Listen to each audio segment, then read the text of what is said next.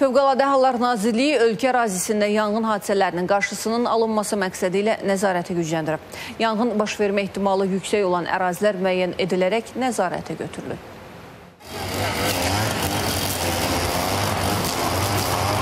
Qamışları biçirik ki, yanğın olmasın, jilka ilə, otpisərlə. Siqaret atarlar yana. Binəqədi rayonu Baksol yaşayış massivindəki kommunikasiyalar keçən ərazilərdə yanğın təhlükəsi yüksək olan sahələrin təmizlənməsi işləri aparıldı. Quru otlar və qamışlıq ərazi biçilərək xüsusi texnikalarla müvafiq yerlərə daşınır.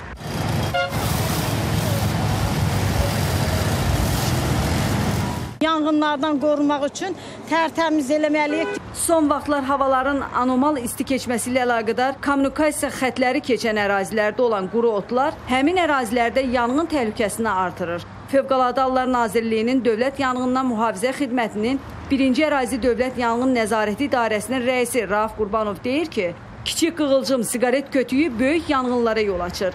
Bu cür təmizlik işlərinin aparılması isə həmin ərazilərdə yanğın təhlükəsinə qarşı müəyyən qədər qabaqlayıcı tədbir görülmüş olur. Kommunikasiya xətləri keçən ərazilərin ətrafları, quru otlar, çol-çoslar, qamışlıqlar təmizlənir ki, baş verə biləcək yanğınlar qarşısı alınır və ümumiyyətlə baş verən yanğınların sayı 50-50 azalmışdır. Buradan səslənirəm mən ümumiyyətlə sakinlərə, əhaliyə Məişət tullantılarının toplandığı ərazilərdə də yanğın törədilməsi, yanğın yandırılması qəti qadağandır. Çünki həmin ərazilərdə də yanğınların yayılması mümkündür. Bu cür tədbirlər yay fəsli boyunca davam etdiriləcək. Zümrüd Tahir qızı Şəhriyar Əhmədli, ATV xəbər.